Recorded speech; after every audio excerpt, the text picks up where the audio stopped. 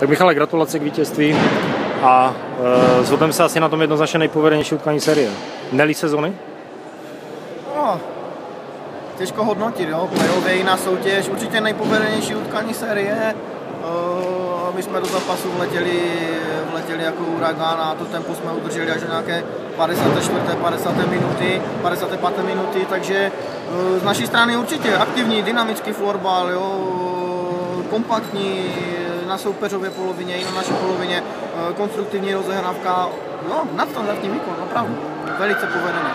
Jak bylo složité, nebo možná složité nebylo, připravit kluky psychicky na to sedmé utkání, na to rozhodující? No, složité, složité. Oni, kluci jsou strašně chytří. Já to vnímám, oni to cítili, oni cítili, že v, poslední třetině hlavně uh, ukázali svůj potenciál, na co mají a já už jsem jenom věřil tomu, že, že ho minimálně tento výkon zopakují a, a že to bude dobré. Uh, vždycky je těžké po, po těsné porážce se zpamatovat kor tak uh, v, rychle, v rychlém časovém sledu. Kluci se s tím porvali se ctí a říkám, já jsem je ani moc připravovat nemusel. My jsme si řekli detaily a, a to bylo celé.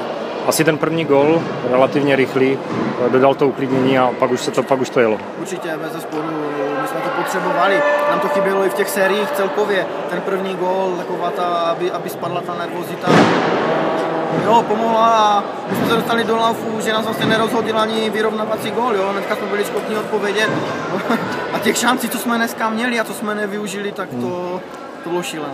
Lukáš Velčmít konečně se chytil, dal dva goly a jako jednoznačně jeden z nejlepších hráčů na hřišti. No, má navíc, má navíc jinak on to ví.